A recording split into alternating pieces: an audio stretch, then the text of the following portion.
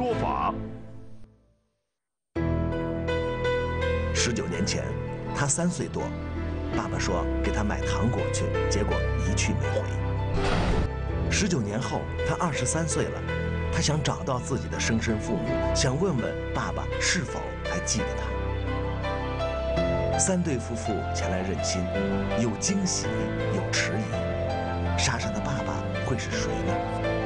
今日说法为您播出：莎莎找爸爸。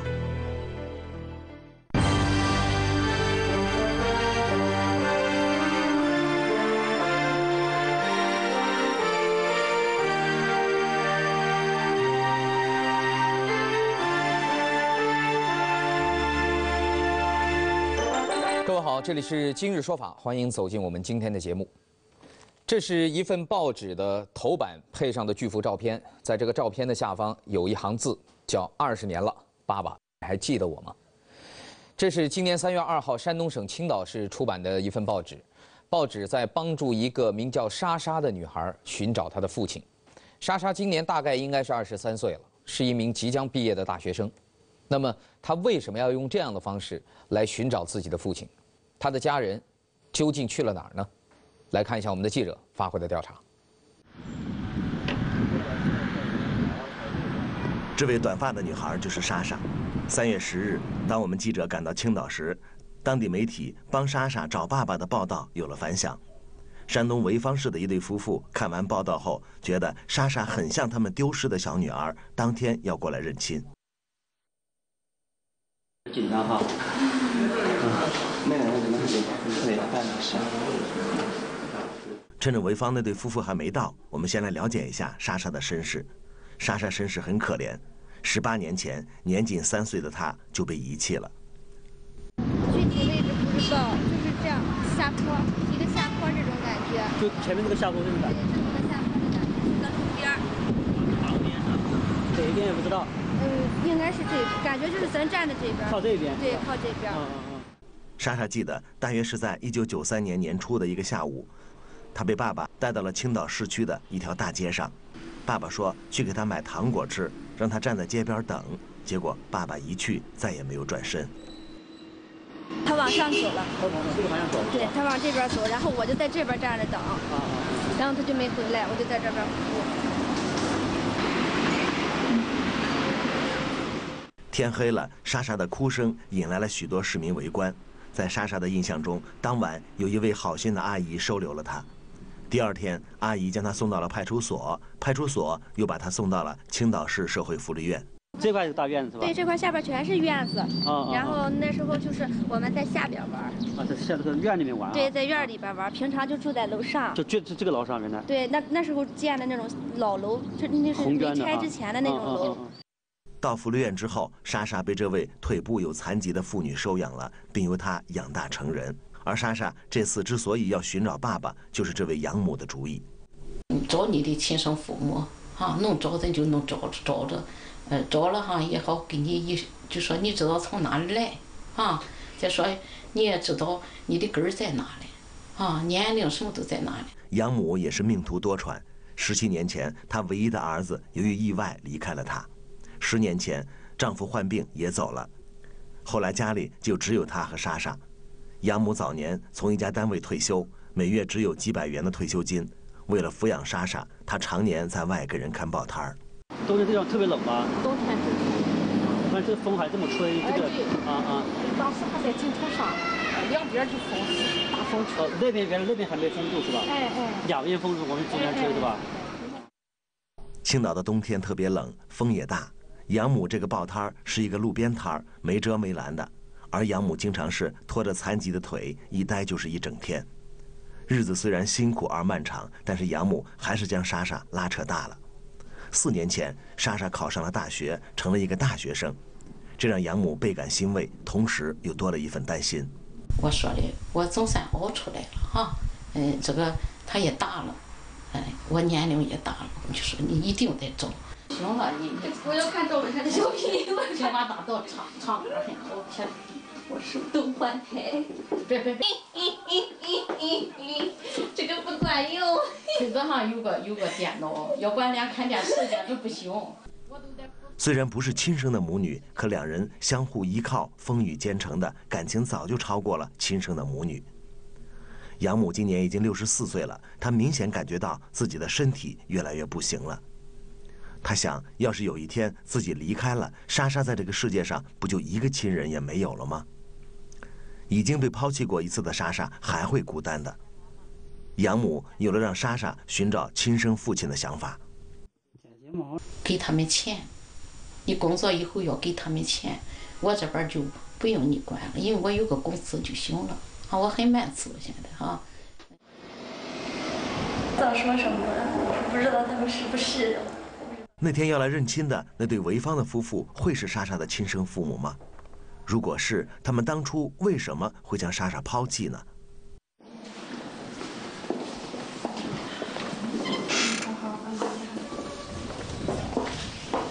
上午十一点钟，潍坊的那位夫妇在一位亲戚的陪同下赶到了。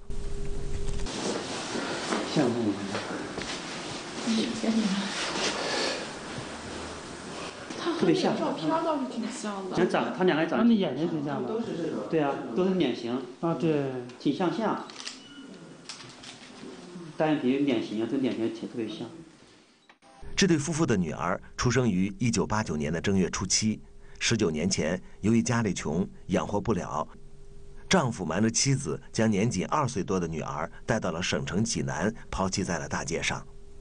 在济南哈。在济南，在济南天桥就地。啊，济南天桥啊，济南。当晚，妻子得知后和丈夫又吵又闹，一定要丈夫把女儿给找回来。其实，抛弃女儿后不久，丈夫也后悔了。第二天，他又返回了济南，想找回女儿，可是怎么也找不到了。年前的时候，然后我二姨去济南，去了四次，去找。嗯，每年都去。这些事，这些年一直像一座山一样压在这对夫妇的心头。前些天，报上刊登了莎莎找爸爸的消息后，他们眼前一亮，因为报纸上有一张莎莎小的时候的照片，和他们的女儿长得太像了。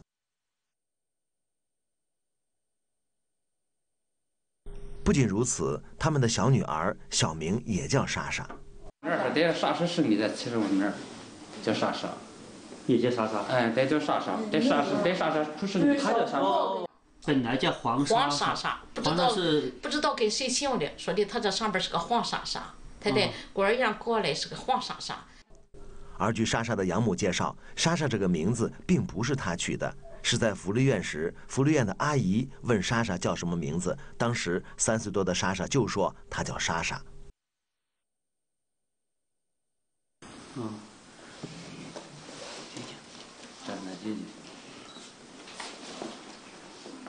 这对夫妇认为这些不可能是巧合，他们认准了莎莎就是他们的女儿。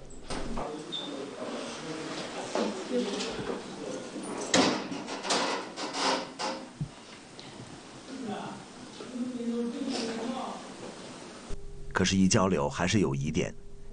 第一，这对夫妇是在省城济南将女儿抛弃的，可是莎莎说她是在青岛市的大街上被爸爸抛弃的。青岛跟济南相隔有三百多公里，这事情有点说不通。这时，这对夫妇又提到了一个细节：我年年去，年年找老周，嗯，年年去。那派出所的人都说他，但是但是人家不照面根本不见面，都说他活的挺好，小人。这对夫妇说。女儿被抛弃以后，他们曾经连续寻找了多年，后来打听到女儿可能是被济南一位姓周的人收养了，可是他们一直也没有找到那位姓周的收养人，他们怀疑是不是那位收养人后来再一次又将女儿抛弃了，而抛弃的地点会不会就是在青岛呢？虽然这种可能性并不能排除，但接下来的疑点就更难解释了。两个门的那种房间。有个前院是吧？有个院对，是个小院的那种。虽然被抛弃时莎莎只有三岁，可她对老家还有着片段的记忆。在她的记忆中，她应当有一个比她大三四岁的姐姐。她家的房子是一个一进院两扇门的结构，屋前还有一个小院小院里有一张小石桌什么的，姐姐经常在上面做作业。村边还有一条小河，河边长满了芦苇。夏天，她和姐姐曾经在河里捉过鱼。可是这对夫妇家的环境跟莎莎的记忆并不完全相称。还你还有大姑娘吗？没有没没有没有，这是老大，这是如果是那个什么这，是就是老大。那他家后面有小河吗？小河啊，小小河河就是河。疑点虽然无法排除，可事情毕竟发生了有近二十年了，这中间会有什么样的变故，谁也无法得知。大家都希望有奇迹发生，莎莎和这对夫妇也都不愿意放弃这个机会，他们决定做一个亲子鉴定。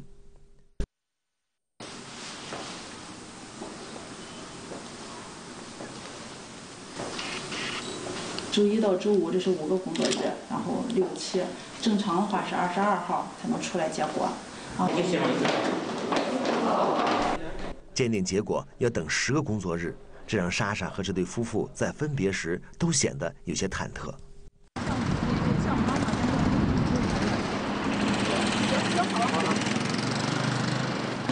看看吧，看看什么最好看。就是。咱们去了，咱们去了。据莎莎说啊，那对潍坊的夫妇在回去之后，心里对于莎莎还是特别的牵挂和惦念。而且就在当天晚上，那对夫妇找来了十几个亲朋好友，用这个网络视频的方式和莎莎又聊了一次天儿。在网上，这十几个亲朋好友就在电脑前面对莎莎进行了反复的辨认，这样的交流和沟通一直持续到了半夜。其实刚开始在寻亲这一点上，莎莎并不主动，因为在她的内心充满了怨恨。除了被亲生父母抛弃，给幼小的心灵造成无法弥补的创伤之外，他在遇见现在的养母之前，还曾被人收养过一次，而那一次差一点要了他的命。那这地方那种，你握起拳头来不是应该有骨头，这边都应该鼓起来的，然后这些都被他踩的没有了。啊，这这这这这两这是就这样全都被踩的踩坏了是吧？对，就那软骨这个地方应该是，嗯这应该是软这个也是踩骨，这个也是都没有了，都凹下去了。了。莎莎说，刚到福利院不久，一位老太太就来福利院把她领走了。可那位老太太根本就没有好好照顾她，不但如此，还每天强迫年仅三岁的她拖地板、刷马桶、给人搓背等等。稍有不从或者做得不好，就会被体罚。她说她的手就是被那位老太太用脚给踩伤的。不仅如此，老太太还经常不让莎莎吃饱饭。没有办法，她只能自己去垃圾堆里捡东西吃。然后饿了就捡着吃，什么时候吃饱了开心了，吃完了我就再上来。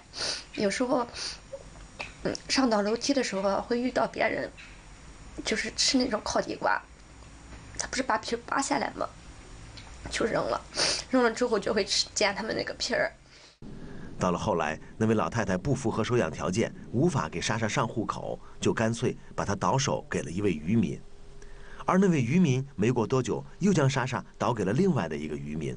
最后不知倒手了多少次，没有人要了，莎莎只有在街头流浪了。我就在马路上溜达，在马路上捡东西吃，就开始流浪。这样的流浪生活不知过了多久，直到有一天，由于长时间的饥饿和营养不良，莎莎晕倒在了街头。等她醒来时，她再一次被人送回了青岛市社会福利院，而此时已经是两年后的一九九五年了。幸运的是，这次他遇到了现在的养母。以后告诉我，他摆了好几家子，哈，流浪到那来了，他又回到那来了，身上我都得给他洗澡，都是慢慢是个这个油，给他往下垮皮肤来，就垮垮垮垮出皮肤了。我说洗了多少次才见到皮肤？养母十分同情莎莎的遭遇，给了莎莎全部的爱。莎莎认为亲生父母的抛弃让自己受尽了磨难，而养母则用无私的爱将自己培养成了一名大学生。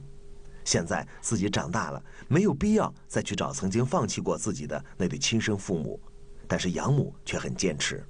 刚开始，莎莎是怕伤了母亲的心，才开始配合寻亲的。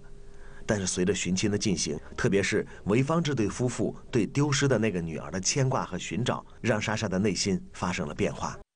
然后我当时心里边就觉得，就矛盾的，就不知道该怎么表达。因为我以前恨他们是觉得他们从来不会找我，我找他们我会觉得委屈。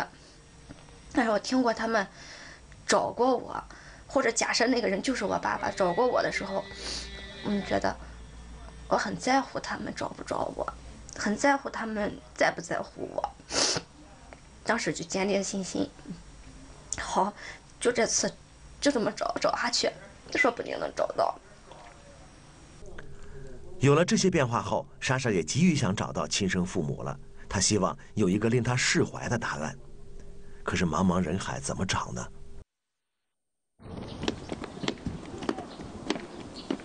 在见到潍坊这对夫妇前，莎莎和媒体的记者曾经去过莎莎当年待过的青岛社会福利院，因为福利院里可能存有莎莎被遗弃时最原始的资料，原始档案里应当有些线索。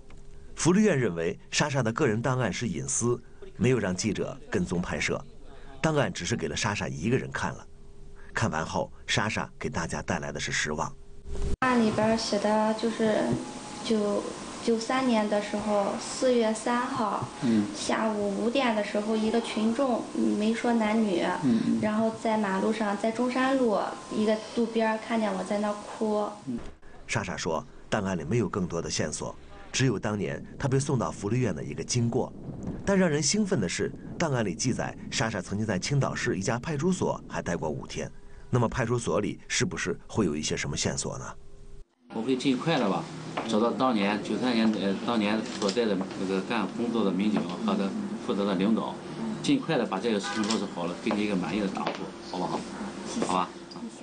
警察的回答曾让莎莎充满了希望，可最后派出所答复。由于时间久远，莎莎可能被遗弃的这件事儿，他们没有找到任何记载。派出所也曾经问过当年的一些老民警，没有人有印象。寻亲就这样陷入了停滞。不过，莎莎的寻亲还是感动了整个青岛，许多市民和企业家都来看望莎莎。希望你很快找到亲人。谢谢。寻亲的过程中，又有两对夫妇打来了电话。其中一对夫妇所说的丢失的女儿，各项特征跟莎莎全部吻合，甚至家门外的小河也与莎莎记忆相同。那么，奇迹能否发生呢？莎莎找爸爸，今日说法继续播出。虽然寻亲还没有头绪，但是莎莎身边的朋友，包括当地媒体的记者，都在一块儿给莎莎想办法啊，分析线索。他们认为，如果莎莎的记忆准确的话，那么莎莎的家应该是距离青岛不远的农村，因为莎莎记得自己家是一进院两扇门，这种建筑结构恰恰是青岛当地农村最典型的一种民居，并且他们认为，如果是农村人抛弃孩子的话，不会走很远的路，所以莎莎的家很有可能就在青岛周边。有了这样一个分析结果之后，青岛当地的媒体联合了周边市县的多家电台、电视台，对于莎莎寻亲的消息进行了反复的播放。就在消息播出之后没多久，又有两条新的线索反映了上来。这两条线索能给我们带来惊喜吗？啊，七十二六，你怎么称呼？姓刘，哎。这两条线索来自同一个地方——山东省的五莲县。五莲离青岛不远。只有一百多公里。三月十二日，青岛当地的媒体和莎莎来到了第一对夫妇的家，但很快他们就失望了。是那种种的那个豆似的那种，他他说他那个是这么一长条勒的那种长疤。划的是吧？对，但是我没有。他说，看脸的这一部分像，但是具具体是不是他不清楚。据这对夫妇讲，他们的孩子左臂上有一个胎记，莎莎没有。莎莎一行只得返回县城，等待跟第二对夫妇见面。中午，第二对夫妇让一位亲戚过来接莎莎。这位亲戚见到莎莎后，显得十分兴奋。哎呦，怎么有点像他见识？有点像你看我看到导演一看哈，他家也不不这也不大厂家哈，到一导演看哈，有点像介意，啊，我我这我是确认是哈。好好。据这位亲戚介绍，丢失孩子的是他的姐姐。孩子丢失的时间和年龄跟莎莎当年都差不多，并且凭她的记忆，莎莎的神态和相貌，她姐姐的另一个孩子十分相像。在这位亲戚的引领下，在一个小区的居民楼里，莎莎见到了这第二对夫妇。你看，这他是哪口好奇我那会子电话一他那个牙有点青，嗯，还有点牙有点就你看了吗？啊，一个比上他那比上过来啥？呃，线上他这比是这种。就他小那个很很小，就是，嗯，他这个小，他这个旧了。我一看。让人兴奋的是，这对夫妇老家的环境竟然和莎莎的记忆全部吻合。说因为他记是一个小河。啊，他小河那这不都多出来了。有小河吗？给我过来。那以前是有小河。以前有小河。哎，是。都在地叶上。有小河，小叶上，也有有有不大吧，就咱们常见小路，有一些小坡子，咱们说是，就他说说是伪的，不是伪的，是坡子，咱们帮吹去。不过，由于开发，这对夫妇口中所说的老家，现在已经被楼房所取代了，不复存在。不仅如此，莎莎记忆中有一个比她大三四岁的姐姐。这对夫妇丢失的正是小女儿，他们同时还真有一个大女儿。大女儿就是她，年纪刚好比莎莎大三四岁。哎，如果是在家里话，肯定来嗯，在家里如果是一块玩的话，肯定来。吻合的还不止这些。这对夫妇说，他们丢失的那个女儿的小腿有些外翻，而莎莎的腿型似乎也一样。我看他，我这来我就看他的腿。不行不行，你闹出来。他那个腿哈，你不看着，我他前头破的之后，不不大深。你看那个腿肚在上面谁呀？他在。他腿肚上面谁呀？啊。哎。腿肚上面谁是？他是腿肚子上面谁呀？也是。哦，你说这个也像是吧？嗯。这个腿也像。像。腿肚子这一般人他不。嗯，我一听这就是。他们把死的是。如果莎莎真的是他们的女儿，那么当年他们为什么要将她抛弃呢？问题一出，疑点就来了。怎么人了啊？他在跟头死了，但是呢，我一直他说的，我不敢把他背对他，一背对他，我在眼中就走不了了。这对夫妇讲，他们的女儿不是被他们抛弃的，是被别人拐骗走的，这一点跟莎莎的记忆就有差异了。但这对夫妇认为，莎莎被抛弃时可能是太小，她的记忆也可能存在问题。我一我一听说哈，他父亲给他买过房奶，把的街坊都了，那绝对不是他亲生父亲。是是。他亲生父亲等不着得找个好日子哈，嗯，托付不了了，一年回去去看看他去。虽然不这个事儿，把他撂在街上是经常多。这对夫妇认为，亲生的父亲不可能将亲女儿抛弃在大街上。当初遗弃莎莎的那个人，可能并不是他的爸爸，或者就是当初拐骗走他女儿的那个人贩子。这些想法让莎莎对自己的记忆也产生了怀疑。三十多岁。没有那么，我就感觉像是三十岁左右。还挺年轻的，嗯，不是不是老不是老人的那种，感觉就是个中年人。莎莎承认自己儿时的记忆只是片段式的，她甚至记不起抛弃她的那个人的相貌，也确实无法认定那个人就一定是她的亲生爸爸了。肯定是。肯定是。嗯，不是，不是了。不不是不不。虽然这对夫妇坚信莎莎就是他们那个女儿，可还是没有过硬的证据。这对夫妇决定第二天去青岛，跟莎莎一起做亲子鉴定。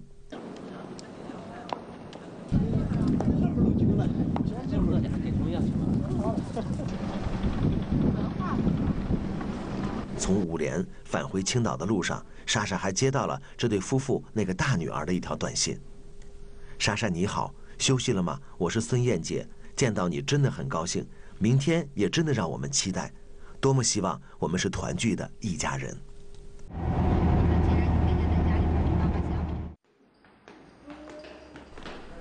等待了一夜，第二天，那对夫妇从五连赶到了青岛，跟莎莎一起做了亲子鉴定。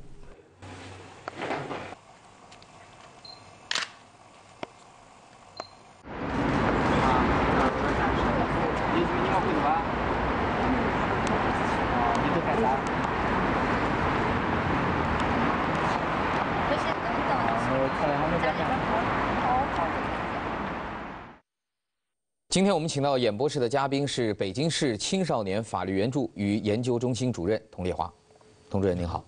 呃，现在莎莎有这样一个担心，她就怀疑她的亲生父母是不是在看到这个消息之后有所顾虑，因为在莎莎的记忆当中，她是三岁的时候被她的父亲给扔在街上。就换句话讲，如果真的是父母故意把莎莎遗弃的话。会不会构成法律上的遗弃罪？而这个罪名是不是现在正是阻碍莎莎的亲生父母前来跟她相认的一个原因？首先，我们说就是，如果确实是他父亲呃父亲给他遗弃到另外一个城市，嗯，然后自己就跑了，嗯，这肯定是一个典型的遗弃罪，这一点没有什么说的。但是，客观说，在司法实践当中，嗯，遗弃犯罪要考虑一个情节，就是情节的恶劣。嗯，那么从这个情况来看，就是孩孩子也好，或者说从被害人或者说其他人这种报案来说也好，有没有人去追究，这是一个要考虑的一个问题。另外，最关键的一个问题是，这个事情已经基本上过了这个法律的追诉时效。嗯。就实际上事情发生已经超过二十年了。嗯，那么实际上我们遗弃的犯罪最高徒刑实际上是五年。嗯，遗弃犯罪就是五年以下有期徒刑，最高也就是五年。那么根据这个法律的规定，最高五年的话，这个法律的追诉期也就是十年，也就是最多超过十年，也就不会再追究他的刑事责任了。那么从这个角度来说，如果莎莎父母看到这期节目，完全没有必要。来担忧自己的刑事问题，或者是受到追究的问题，应该勇于站出来。第二，实际上莎莎这个孩子现在来看是一个很有爱心的孩子，包括他的养母。如果他的父母看到这样一期节目，我们说他的良心应该受到很大的震撼。你把自己的孩子都给遗弃了、扔了，二十多年以后，孩子还能来找你，这是一种怎样的爱心？基本的人性是要有的。那么从这个角度来说，如果他的父母，看到这期节目，我们呼吁啊，他勇敢地站出来，为自己过去的这样一种叫什么呀，荒谬的行为、不负责任的行为，要来担负责任，要来面对这个孩子。如果说过去这么多年来没有给孩子这种爱，今天应当有勇气站出来，来忏悔，来补偿。亲子鉴定结论还得等待。养母说，如果结论是否定的，莎莎没能找到爸爸。她将来会拿莎莎小时候的照片去青岛附近的农村，一家一家的去问、去打听。他不相信找不到。想知道我叫什么名，哪一年出生，出生在哪儿，然后拍个全家福，以后过年的时候或者是平常日都可以联系。但是我还是会回来和我现在的妈妈生活在一块儿。节目播出前，亲子鉴定结论出来了。莎莎和两对夫妇都没有血缘关系，莎莎找爸爸还在继续。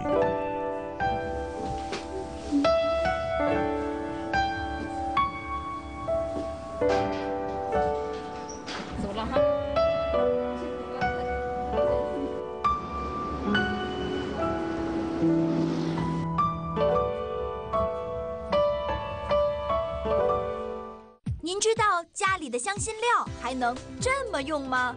它不。